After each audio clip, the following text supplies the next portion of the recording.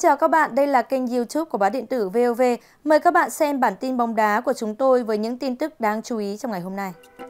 Mở đầu chương trình bản tin bóng đá ngày hôm nay là những thông tin chuyển nhượng của V-League 2024-2025. Hải Phòng FC thử việc cựu cầu thủ Hoàng Anh Gia Lai. Theo những thông tin chuyển nhượng V-League mới nhất, cựu cầu thủ Hoàng Anh Gia Lai, Nguyễn Duy Kiên đang thử việc tại Hải Phòng FC.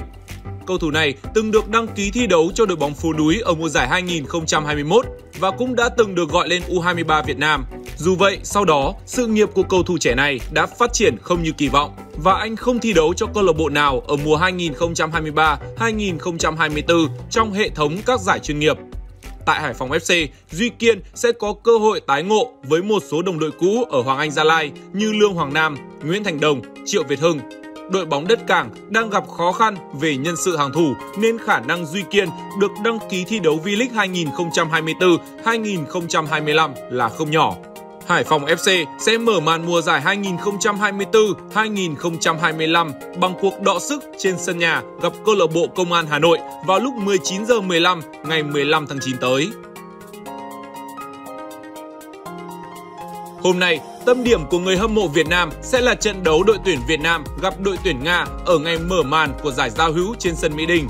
Cuộc so tài với đội tuyển Nga sẽ là cơ hội quý báu để thầy trò huấn luyện viên Kim Sang Sik rèn quân với đối thủ mạnh. Để chuẩn bị cho trận đấu này, đội tuyển Việt Nam đã tập trung từ cuối tháng 8 vừa qua. Đến ngày 1 tháng 9, đội có đầy đủ những cầu thủ tốt nhất theo danh sách được huấn luyện viên Kim Sang Sik công bố trước đó.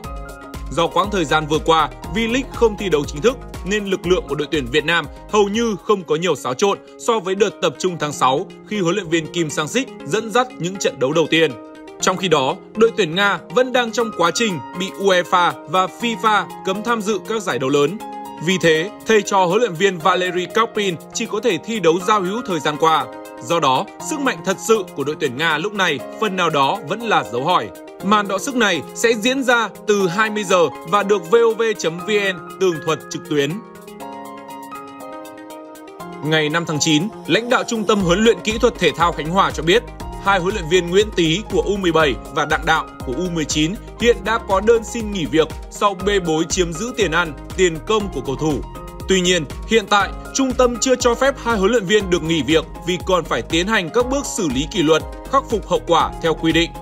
Trước đó, lãnh đạo trung tâm đã có quyết định tạm đình chỉ đối với cả hai huấn luyện viên Nguyễn Tý và Đặng Đạo để thực hiện các bước thanh tra.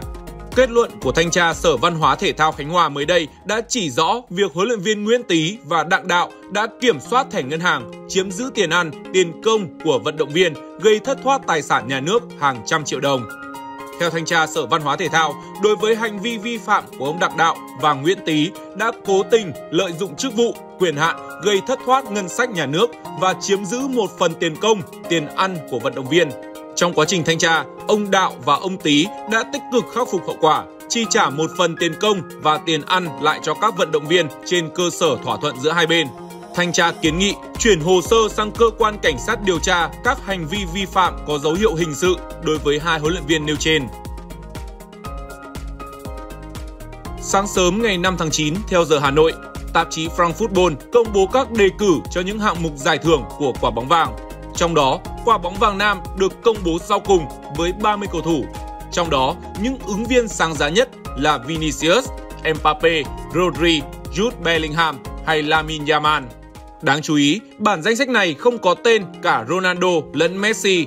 Với Ronaldo, việc anh không có tên là điều dễ hiểu khi cầu thủ này thi đấu không thật thành công trên bình diện tập thể ở Ả Rập Xê Út và thất bại cùng đội tuyển Bồ Đào Nha.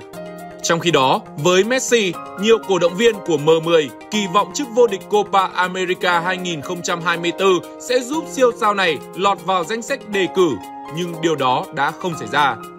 Tiêu chí bình chọn giải vẫn theo 3 yếu tố, gồm màn trình diễn cá nhân, thành tích tập thể trong mùa 2023-2024 và đẳng cấp của cầu thủ. Lễ trao quả bóng vàng 2024 sẽ diễn ra ngày 28 tháng 10 tại Pháp. Theo Daily Mail, Casemiro quyết tâm chiến đấu giành một vị trí chính thức tại Old Trafford mùa giải năm nay. Anh sẽ từ chối mọi lời đề nghị từ Galatasaray trước khi kỳ chuyển nhượng tại Thổ Nhĩ Kỳ đóng cửa vào tuần tới. Casemiro không muốn rời nhà hát của những giấc mơ thời điểm này. Galatasaray cân nhắc một động thái dành cho tiền vệ người Brazil. Nhà đương kim vô địch Super League có kế hoạch hỏi mượn Casemiro và hy vọng MU sẽ gánh một phần lương của cầu thủ. Dù vậy, khả năng thành công của thương vụ không cao. Vị trí của Casemiro tại MU đang bị đe dọa khi anh vừa để lại màn trình diễn thảm họa trong thất bại 0-3 của MU trước Liverpool ở vòng 3 ngoại hạng Anh. Casemiro mắc tới hai sai lầm dẫn đến hai bàn thắng của Luis Diaz trước khi bị rút ra khỏi sân đầu hiệp 2. Cầu thủ 32 tuổi cũng không được triệu tập lên tuyển Brazil chuẩn bị các trận đấu thuộc vòng loại World Cup 2026 khu vực Nam Mỹ. Các bạn vừa xem bản tin bóng đá, hãy like và subscribe kênh youtube của báo điện tử VOV, truy cập vào địa chỉ vov.vn để theo dõi những tin tức thời sự cập nhật mới nhất của chúng tôi. Xin chào tạm biệt và hẹn gặp lại trong những bản tin sau.